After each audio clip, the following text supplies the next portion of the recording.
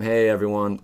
I really just want to take a second and just thank you for tuning back into the channel. And if you're watching the videos and you enjoy them, by all means hit the like button. It does help out a lot. Let's just jump into it. First up, we got four copies of Llanowar Elves. This is like, it's a staple in any green deck, really. If you're running green, you're almost always going to run a Llanowar Elves.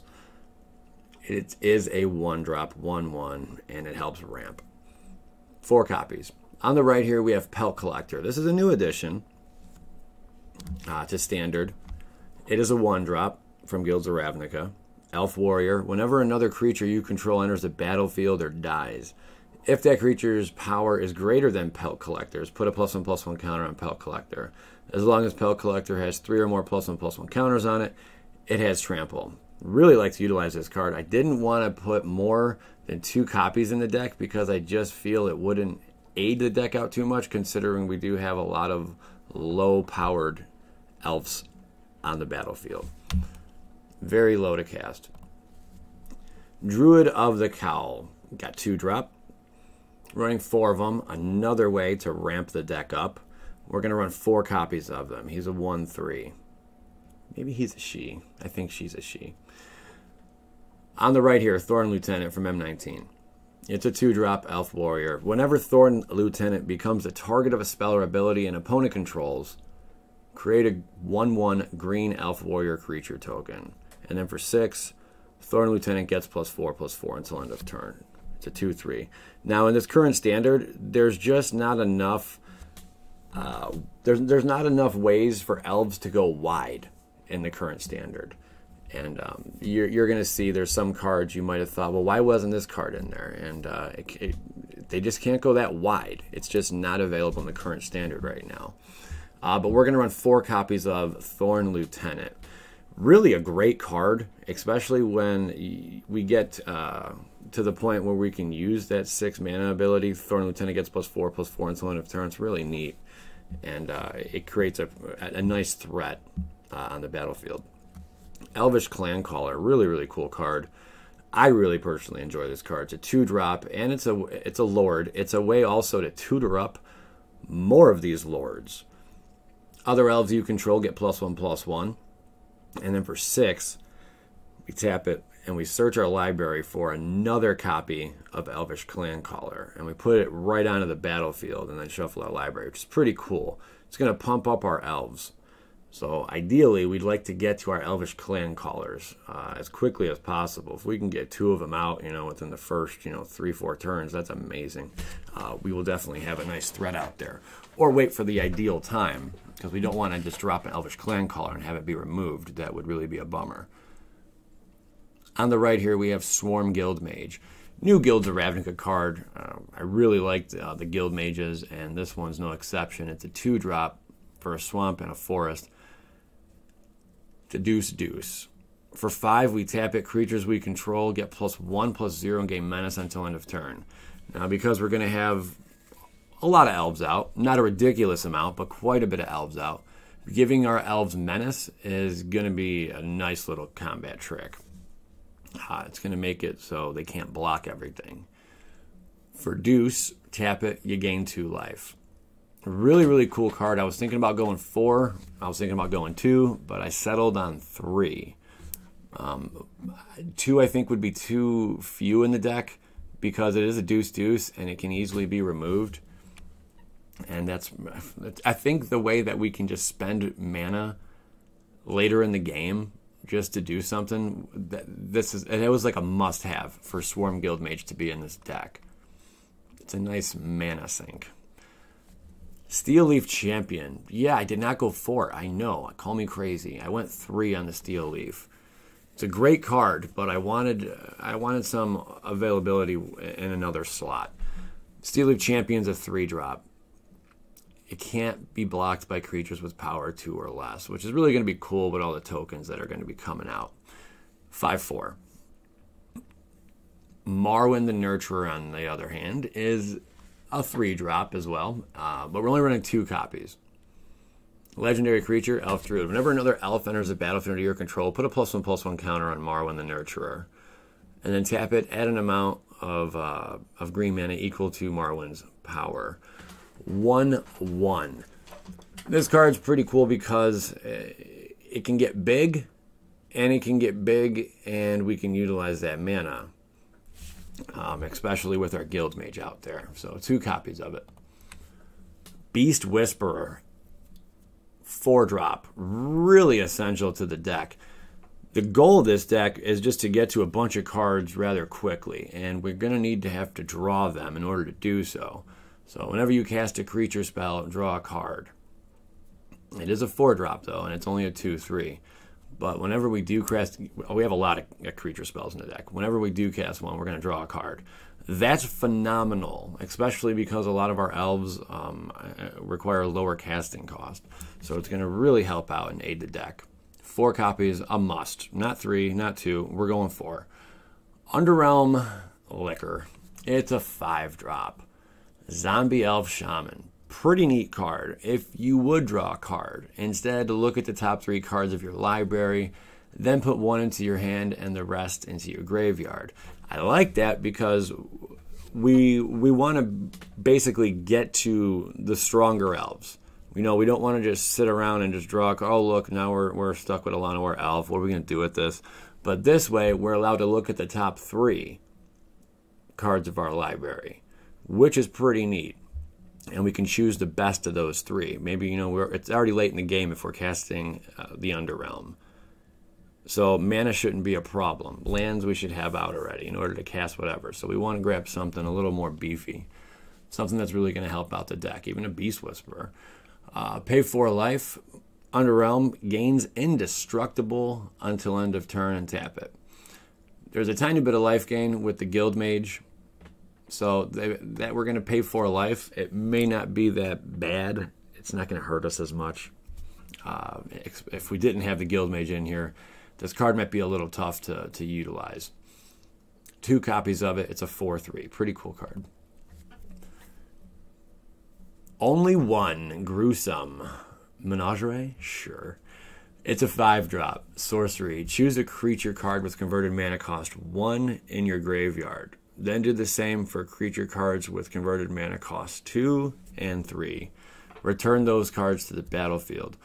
I threw one in here. I really like that because we are going to be dumping into our graveyard a little bit um, with the card uh, with the liquor before.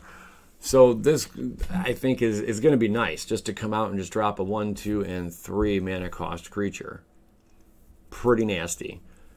Definitely had to include one of them. I really like this card, and yeah, it, it may not be the greatest, uh, you know, fit in this deck, but it definitely is going to get more creatures back onto the battlefield. One copy of it.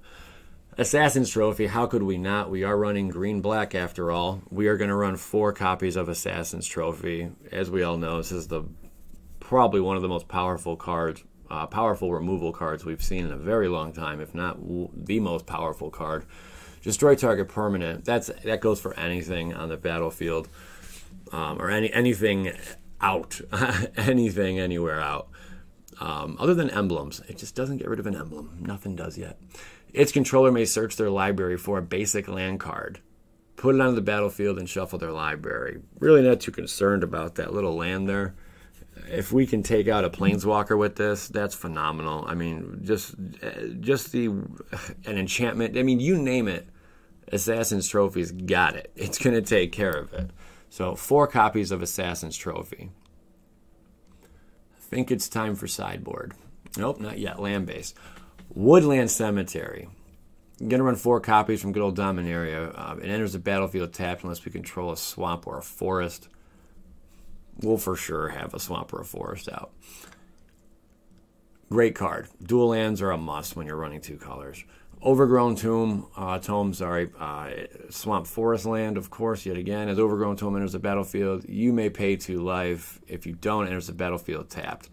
Two life's really not going to hurt us if we need to get um, our guild mage out or whatever the case may be, turn two, uh, this is this is going to help. We're going to need to pay that two life just to do it. Four copies of it. Evolving Wilds. Four copies Evolving Wilds. I mean, this card's been printed so many times, it's ridiculous. Sacrifice it, and then we can search our library for a basic land card and put it onto the battlefield tapped, and then shuffle our library. Pretty neat card. Four copies of it to get to the mana we need. Three swamps. Just three, not four, not two. We got three swamps. Eight forests, total of eight forests. I am debating though. I could go nine forests and go two swamps, but I decided to go three swamps, eight forests. That is the entirety of the deck. Now let's get into the sideboard. Poison Tip Archer. It's a four drop. We're going to run two of them. Let's say our opponent is running basically uh, anything flying. Uh, this sucker has reach and death touch, so it can kill any of them big dragons out there, or angels that are that are just brutal.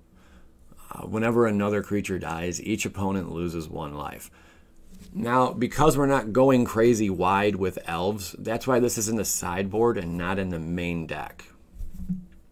Um, we can really use the whenever another creature dies, each opponent loses one life. That would that would go great in like a token generating deck because it's any creature, um, which is which is huge. It's a two three. Reclamation Sage because we are definitely going to need to destroy artifacts or enchantments at some point. Four copies, the max. Uh, it's a three drop and a 2 1 Elf Shaman. Status and statue. On the first side, we got target creature gets plus one plus one against death touch until end of turn. Maybe we're just running into issues uh, where we need to kill something. we really, really need to take something out, and this will help out uh, when it comes to uh, blocking. Uh, and it's an instant, nice little trickery. Plus it gets plus one, plus one. Maybe we'll still we'll survive that with our card. Statue over here, it's a four. Destroy target artifact, creature, or enchantment. Very versatile. I like that. We can take out any one of those three, and that could be huge. We're running two copies of this. Vraska's Contempt because people love to run planeswalkers right now, uh, when especially when you got Teferi running in the uh, in standard, uh, he's very dangerous and he gets uh, he gets the job done quick. So we are probably going to need to get rid of that planeswalker, along with your Karns, you know, and even Vraska now is going to be a threat. Um, and then we gain two life, not bad. Three copies. Silent Gravestone, three of them. Artifact. Cards in graveyards can't be the target of spells or abilities. I, I know, I know what you're thinking, but Joey Moss, you already have cards that are going to try to target stuff in graveyards. This is true, Bill, but uh, we we we really are going to be threatened uh, by decks that are all about the graveyard. And if we're able just to take away their entire graveyard, the rest of our deck can can hold up on its own. But if they can't use their graveyard the way they want to, they're flat out just going to lose the game. I mean, that that's pretty basic. So that's why this is in the, the, the sideboard and we're running three of them. And then for four, Exile Silent Gravestone and all cards from all graveyards, draw a card. Pretty, pretty neat. Ulkron Assassin. You know, I, I really wanted to include uh, a playset in the main. I really did. But because we're not going to be pumping up our elves too, too big, you know, like this deck doesn't consist of things that give our creatures plus four, plus four, plus three, plus three, you know, or anything like that. I, I, and I just really wanted to talk about this card. That's why I included it here in the end of the sideboard. This card's nasty in the right deck. I did not feel again this was the right deck for him. He's an elf assassin, death touch. All creatures able to block Ulkron assassin do so. I mean, you pump this thing up and make it a four four, or even like give it some auras or whatnot, and then you attack. For each creature they're blocking with, let's say they have four creatures out. All right, all four have to block this thing. If you have this thing a four four, if the assassin's a four four you can just deal one damage to each of those creatures and they all die. That's why Okron is such a nasty card. But again, uh, hey, you know what? Maybe, maybe, maybe even throw in two copies in the main with this thing. I mean, you can even change this deck up a tiny bit. Maybe Okron would serve better in the main board. I wouldn't get too carried away because it's not a pump up kind of deck. So maybe one or two copies in the main. Also, if you guys are still watching this, uh, I, I, gotta ask you. There's a video here. Uh, it's a real or fake. It's my first appearance I'm making on a, a channel called Ghost Static. Um, I've been collaborating with uh, one of my friends, Adamo, who's uh, the main guy on Ghost Static. Very talented individual. And you will see me make several appearances uh, where we go around uh, exploring and, and, and hunting for ghosts, basically, all throughout Ohio. Um, the video that's down here below, this is just uh, a, a, real or fake video. Pretty exciting, though. Uh, I'd like to know your opinions on it. Give me some feedback. By all means, check out the video. Uh, you know, it, it, does mean a lot. Halloween's approaching, and we thought what better time than to drop all this uh, during Halloween season. And it will be a very active channel. All right, guys, thank you for tuning in. Oh, also, subscribe to it if you're into the ghost kind of stuff. And let me know your thoughts on this deck. I do appreciate you tuning in to Bad Boy Gaming today. I'm Joey Moss, PLA.